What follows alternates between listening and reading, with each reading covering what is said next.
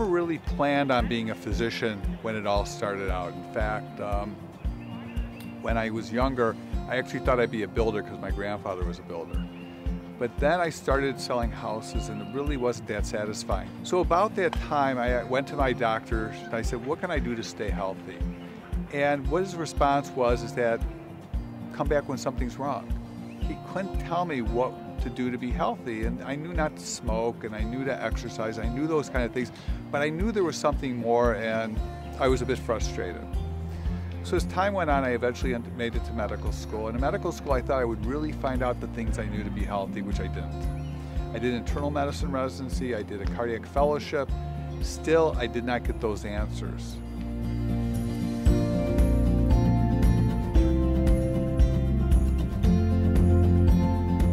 It so happens that I was into trail bike riding, mountain bikes. So I was doing this mountain trail. It's actually over at Pontiac State Park, which is actually pretty close. And there's a very steep hill that they call Spill Hill, of course. So I was riding down the hill feeling really good, and I rolled my bicycle down the hill, probably a good 15 or 20 feet. Felt like 100 feet. I got to the bottom, and when I got to the bottom, I was really scared. So I checked my arms, I checked my legs, and I felt my body, and I said, okay, okay, I'm not paralyzed. But then I got back, and my back was destroyed. I could not do anything. I couldn't do any of the high impact things that I used to do. And I just started the yoga thing about a year or two before. I said, you know what, this is how I'm going to fix it.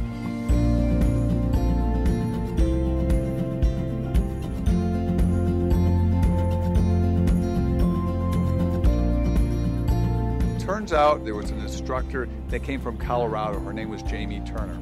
And she taught a style of yoga called Anusara Yoga, which was very precise, very alignment oriented. I went to her workshop on a Saturday morning, and by Saturday at 12 o'clock, I knew that I was my back was going to be better because I learned something that was so effective. In time, that allowed me to have a model for healing. And now it's even better than it's ever been before. In fact, I'm blessed every day with a, with a back that feels great. And I created Sit, Stand, Stroll out of using this model. What really gets me going is when I can be part of the process to help you become your own healer. Imagine waking up every day expecting to feel great, expecting to have energy. In fact, you do it so often that it would feel odd not to you, you wake up with a smile on your face. You want to do something. You've got all the energy you need. And your habit is to pick up the healthy food. Your habit is to go do your exercise. Your habit is to sit down and meditate for 10, 15 minutes. You do your sit, stand, stroll. You do these things because that's your habit. It's what you do because that's just what you do.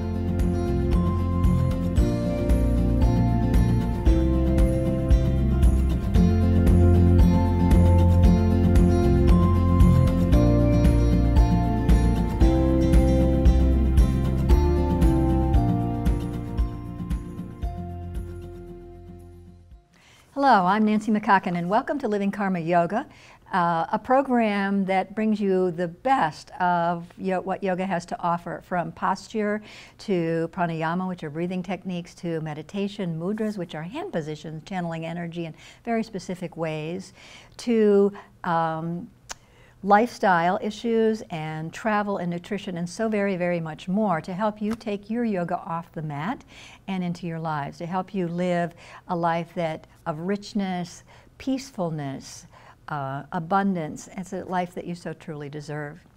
My guest today is Dr. Michael Dangovian, and you've just seen a clip um, of him talking about his, um, his life and uh, his practice, and he's going to talk to us today about a program that he has developed, um, Healthful Evolutions, and in this book he has detailed something that he calls Sit, Stand, and Stroll, which is uh, a yoga practice that you can do anytime, anywhere and forever. It's not something that you need to be physically active about. You don't have to be uh, a gymnast. You don't have to move into contortions.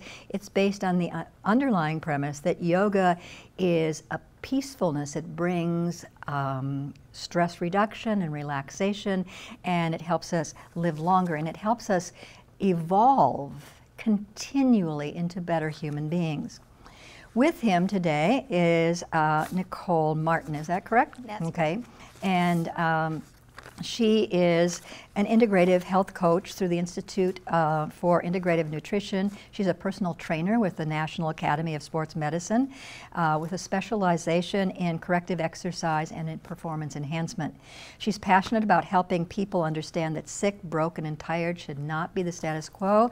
And um, she's partnered, is that correct? Partnered with yes. uh, Dr. Dangovian in the Wellness Training Institute. Dr. Dangovian has been helping people for over two years, working with patients in a unique way in integrating yoga, meditation, supplements, and education into his traditional cardiology practice. His passion is giving people both the knowledge and the tools to take control of their own health and pass that gift to others around them. And Mickey, I'm so happy that you're here. Uh, I met Dr. Dangovian either in a yoga studio or at a family party. I can't remember which. It seems like I've known him for years. Um, he's a wonderful human being and uh, is very dedicated to helping people feel better in their lives. So, can you tell us about the Sit, Stand, Stroll program? Sure, Nancy. Um, Sit, Stand, Stroll evolved over many years. I've been in practice since 1991 as a mm-hmm. uh, cardiologist, and I have what's called a blended practice. Whenever I blended practice, is I integrator, I use complementary and alternative measures that many people don't choose to do. So one of the things I started earliest with was yoga and supplements. So over the time, I had been incorporating the principles that were outlined by Dr. Dean Ornish. Mm-hmm. So you know who Dr. Dean Ornish I is, do. I'm not sure that the, the, our audience knows, though. Well, Dr. Dean Ornish was the first person, probably in traditional clinical medicine that proved that you could actually reverse a chronic disease process, and he did that with yoga. Okay. So now that might sound sort of strange, like how does yoga, how does twisting yourself into all these different positions um, allow you to reverse heart disease? But what he did too is he said, I'm going to take the principles of yoga and I'm going to reverse, call, reverse heart disease, but he called it lifestyle intervention. And, okay. he, and he created something called the Lifestyle Heart Trial. It was published in 1990. So what they did is they used yoga-based pra um, practices, but they also use a low-fat um, vegan diet, mm -hmm. and they use stress reduction, exercise, and obviously quitting smoking and things like right. that. They compared it to another population of patients that were doing the best of what medicine had to offer at that time, so the traditional model. And what he proved is that you could actually reverse heart disease by looking at cardiac catheterizations, which is something that was never done before because before what we used to do is rely on symptoms or rely on certain kinds of tests which were a little bit ambiguous. But it was felt that the cardiac catheterization, which is basically an angiogram, where you uh, slide a catheter through your arm or through your leg up to the top of the heart, inject dye in the arteries, you can see on an x-ray movie, you okay. can see what the narrowings look like. So he proved beyond the doubt you could reverse the heart disease, but he also proved that you could reduce symptoms at the same time. One more thing that he demonstrated was that the people that were doing usual care, or the best that medicine had to offer at the time, is that the other, the usual care group got worse. Okay. Which was a really interesting thing. So not only did you get better with yoga, you uh, not only did you feel better with yoga, but if you didn't do yoga or you did the usual care, you were most likely to get worse. He did a follow-up study mm -hmm. five years later and showed that you were twice as likely to have a cardiac event if you were in the usual care group than if you were in the yoga group. So it was very, very profound. Very um, groundbreaking. Findings. It was amazing. Yeah. And what? And again, this is 1990. So quite a quite a few years ago now. It seems like yesterday. But and so what I try to do is I try to integrate that into my personal um, cardiology practice. Mm -hmm. So every Monday I would have a group that I would I would um, take and we would practice some sort of yoga-based um, practice. Mm -hmm. And we would do that every Monday, and I would teach them things that I need that I thought that they needed to know, but realized that I, did, I was learning along the way. And so when I did that, I noticed that people were having trouble with the yoga part of it, if we will. And when we think of yoga, we think of the positions and the postures. Right. Now, I can tell you, and, you already know, so for the people out there, uh, yoga is also about how you hold yourself in the universe. Every moment of our lives. Every moment, every aspect right. of our life, everything that we do is right. technically yoga. And that was something that took me quite a few years to figure out. Mm -hmm. So I was learning along with my patients over the years. So over the last 25 years, what I was able to do was able to find out how could I connect with people that had no interest in doing yoga, but were interested in feeling better and reversing okay. heart disease which is completely different when you think about it. Because do people, if I put a sign up there for my patients, say, how many people want to do yoga with me every Monday, I would get nobody. Right. Maybe one or two and people. people are afraid of yoga. They think of it as something bizarre or weird or some religious thing. So it's exactly. much better to not. So over the years, I was able to develop a program and uh, a program that was e people could connect with very easily. But even more important than that, it helps them with their backs. Okay. In fact, for a long time, I called my program Healthy Back, Healthy Heart right. in order to get more people to come. And it made me realize that this is how we can keep people from needing walkers and wheelchairs when we get older. Oh, okay. That's so, beautiful. Yeah, it was really, it was quite, a, that was a uh, groundbreaking moment for me because I realized that it's really about how you stand in the way and how you breathe. Okay. And it really boils down to that simple. So I created a process where we can do this sitting, standing, and walking, where your body literally becomes lighter with each every breath. Your body becomes more grounded with each every breath. So is this a breathing practice aware. then, primarily? Sure, yeah, of course. Okay. Yeah, it's breathing, but it's alignment and it's movement and mm -hmm. it's everything. It's mm -hmm. awareness. We, I, I like to say we act on things. Awareness, connection, and transformation. It's about acting out again and again and again. That's beautiful. And so, as your um, Healthful Evolutions, and I, I attended a dinner that uh, the Wellness Training Institute hosted last week, and one of the things that I was really struck with was that the name of the program is Healthful Evolutions because we're always evolving into a more healthy way of living, which I found really, really profound, which goes along with the breathing every moment. Absolutely. We're, we're, we're a product of our habits. Right. So we call them the habits of health. Okay. So our habits determine who we are, mm -hmm. how we turn out. Mm -hmm. So when that happens, when we start to realize that we're just a pro, you know, our habits, then we start to notice what our, our habits are. So that's the awareness. Right. So now if we can ground ourselves, create a connection, if you will, with an understanding. So our habits are how we eat, mm -hmm. how we stand, how we mm-hmm. breathe, how we think. Our thinking, our thinking patterns are just habits. We've cultivated those habits. So whether we know it or not, we've chosen these things. Now you can choose something intentionally, say I want this versus that, or you can choose things by default. Right. And most people live by default. And that's a difficult way to live your life because now you're stuck with whatever the universe brings you versus if you live with intention, mm -hmm. now you can actually make decisions on how you want things to turn out. Right. Right. So how do you bring that into the program and how do you introduce that, say, sit, stand, and stroll? When I read the book, it seems like we're sitting and we're strolling and then we're standing. I can't remember. Maybe I got it wrong. Well, um, like with all yoga practices, the, the um, basic pose is mountain pose or Tadasana. Okay. So it's a standing pose, right? So the way that it works is that you start to first understand what you're doing already. So what I ask people to do is take a big deep breath. Mm -hmm. And mm-hmm. most people are what I call face breathers. And if you notice, when if you take a deep breath, and if, at home, if you're doing this, just do it where you're sitting. Now, people that do yoga always have a different way of breathing. But just for a second, just breathe from your face and take a big deep breath. And notice what happens is that your, your um, center of gravity migrates up your body. Mm. And so it migrates little by little by little. So that happens in a very slow pace. And that happens over months and years and decades. And so what happens is we start as children, we're very grounded. In fact, if you see a little, uh, little baby or toddler walking across the room and they fall, where do they fall?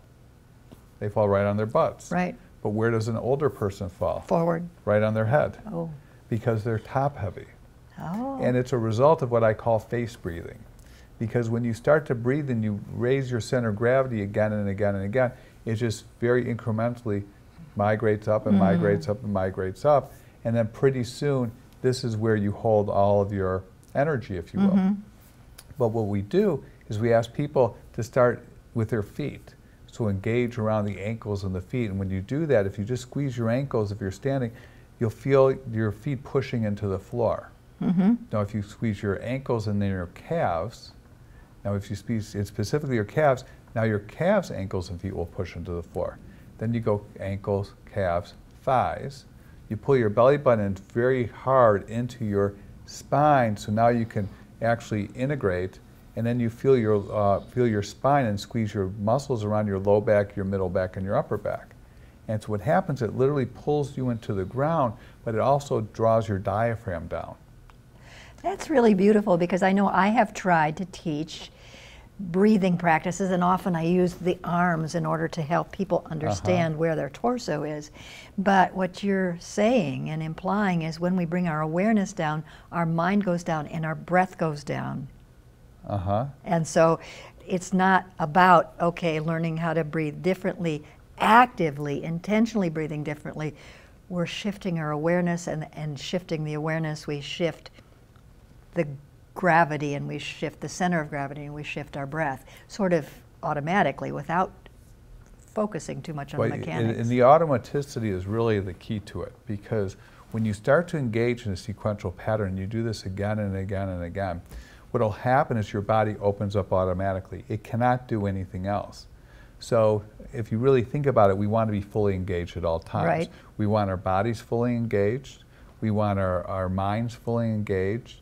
We just want to be engaged in experiencing life. Right. When we become distracted, we become lost, then that's obviously a problem. So when we have this complete engagement, now we actually have a physical practice that we do over and over again. And it becomes part of our life.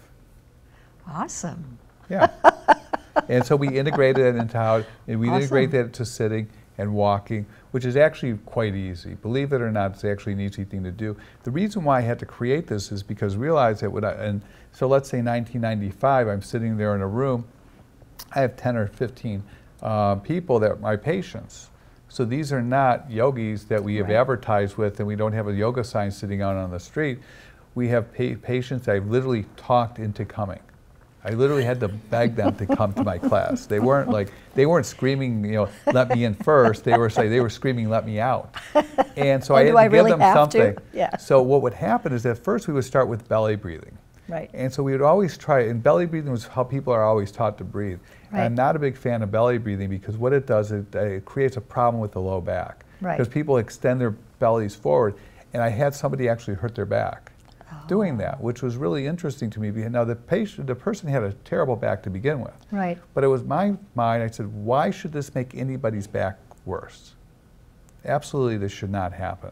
So how do we make it better? So I had to revise it, and so by integrating the principles of yoga that I learned from, uh, uh, particularly Anusara Yoga, mm -hmm. which is a, a, method that I became very um, attached to for a very long time these principles of alignment made it so your back always got better. You could not hurt your back. So when they, if you if you did it carefully and you did it methodically, there's no way that you would injure yourself. And I've not had an injury since.